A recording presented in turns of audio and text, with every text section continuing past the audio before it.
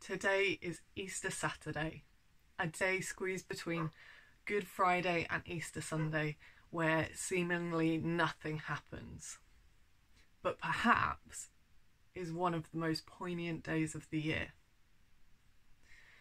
What and if seem like two very insignificant words in our language.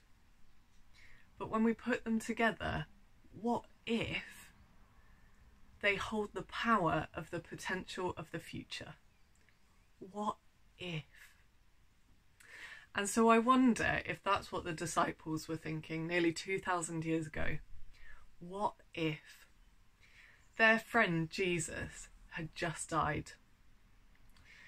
So I wonder if they were thinking, what if he was just a man? What if our friend is dead? But this friend also promised them that he would rise again. What if Jesus really is the Son of God?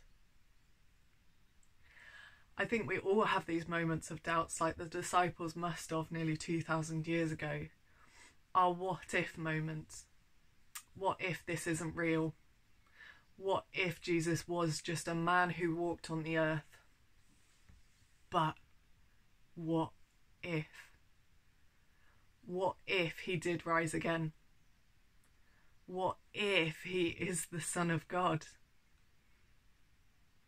What if he is the hope that we all need. So, this evening, as dusk falls, I'm going to light a candle. A candle to remind me of the spark of light that Jesus is. The what if, the power of potential on Easter Saturday before we see him rise again on Sunday. What if?